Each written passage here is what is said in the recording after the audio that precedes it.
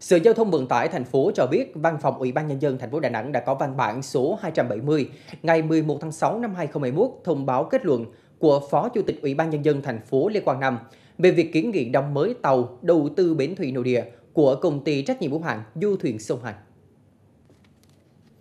Theo đó, giao Sở Giao thông Vận tải chủ trì phối hợp với Sở Du lịch và các đơn vị liên quan nghiên cứu rà soát, đề xuất điều chỉnh nội dung quyết định số 3847 của Chủ tịch Ủy ban nhân dân thành phố phê duyệt kế hoạch đầu tư phát triển vận tải khách đường thủy nội địa trên địa bàn thành phố đến năm 2025 cho phù hợp tình hình hiện nay. Trong đó, lưu ý Sở Giao thông Vận tải, Sở Du lịch và các đơn vị hữu quan cập nhật nhu cầu bổ sung các loại hình vận tải đường thủy mới như nhà hàng nổi, làm cơ sở để các đơn vị có nhu cầu đầu tư theo quy định, báo cáo Ủy ban Nhân dân thành phố trong quý 2 năm 2022.